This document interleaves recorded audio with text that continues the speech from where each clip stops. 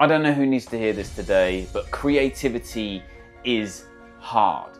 If you've chosen the creative path, it means that when you all came to a crossroads, almost everybody turned right, but you decided to turn left. And what you found there was a very fucking narrow gate. And beyond that gate, a road filled with obstacles, none of which you were expecting, but you carried on regardless. Think about what it is that you do.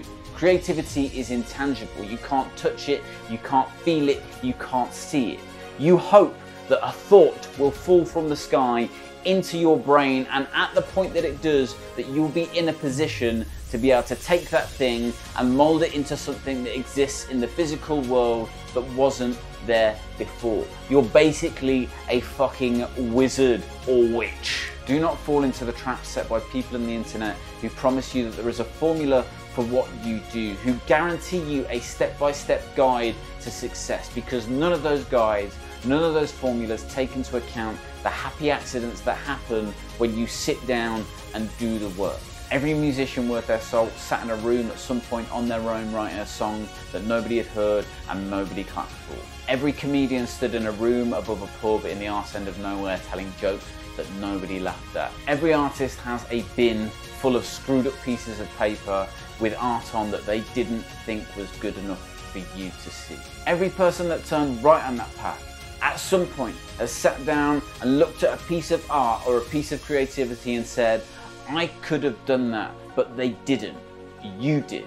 You're the one that chose this life. And I'm warning you now, it doesn't get easier. You are always going to be at the wheel of something that you can't touch or grasp or hold. And the harder you try to hold on to it, the more it's going to slip through your fingers.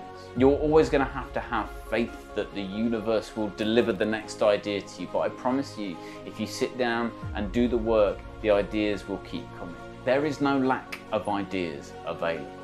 There is an abundance of creative thought available to everyone in the world, and you just have to reach out and grasp it. And sometimes you are going to create shit. You're going to create things that you are ashamed of. You're going to create things that you're not proud of, but you are still creating. If 10 people see it, 20 people, 30 people, 40 people, 50 people, a million people, it makes it no less or no more valuable. You are simply creating and moving on. There will be people who watch this video and question how someone with so few views and so few subscribers can talk so strongly about their opinions on success within the creative field. And to those people, I would say, thank you. This video is not for you. In fact, everyone watching this, this video is not for you. This video is for me. Everything I say in here are things that I want to remind myself of. If you get something from this, then I'm so happy for you. But really, it doesn't matter to me because these are just things that I need to hear. So next time you're struggling to feel creative, remember that you're not dealing with something that's physical or tangible or logical. You are just hoping that you will be able to pluck something out of the air and it will turn into something. So just create anything put it out into the world and it will do the work that it needs to do. I appreciate you guys and I'll see you on the next one.